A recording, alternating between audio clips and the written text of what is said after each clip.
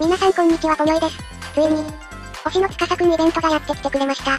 そしてさらに、カラフェスにも司くんが登場。司くん推しになってから初めての司くんバナーとカラフェスということで興奮が止まりません。で、今回もガチャクイズをやっていきたいと思います。現在、ずっとガチャ金して貯めたクリスタルが3万8645個ということで120連引けます。さて、私は何連目で司くんを引けるでしょうか？最悪、でなければ120連まで引きたいと思いますので、皆様予想してコメントしてください。答例として20連目で出るという感じで書いてください。明日の11時締め切りとさせていただきます。正解した方は、明日のガチャ動画にて発表させていただきます。たくさんのコメントお待ちしております。また同じくガチャを引く皆様、頑張りましょう。